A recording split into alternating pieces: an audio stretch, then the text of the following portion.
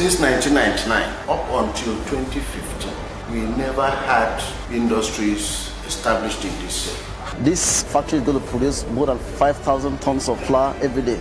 Of course, it's going to be development to the community. This is thing we have never seen before here. But the Excellency, the governor, has so graciously brought it to us, free of charge. What else can we thank God for? Our governor is actually doing more, and we thank him for this.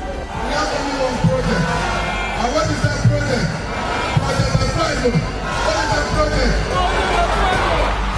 rival rising.